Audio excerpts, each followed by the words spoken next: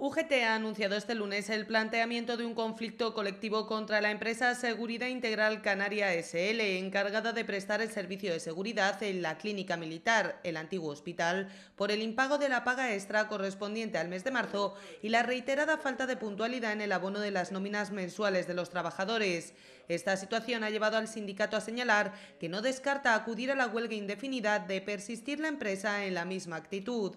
El sindicato ha señalado además que estos hechos que están sucediendo en la ciudad no son aislados y puntuales, ya que ha recordado la pasada semana los trabajadores de esta empresa en Madrid se encerraban en las oficinas centrales de la misma protestando por el mismo motivo. Para UGT no es comprensible que se sigan adjudicando contratos por parte del Estado a empresas que arrastran un sinfín de demandas y pleitos como consecuencia de los impagos a trabajadores, una situación que genera consecuencias muy graves para estos empleados y sus familias que ven cómo no reciben sus nóminas en el periodo establecido.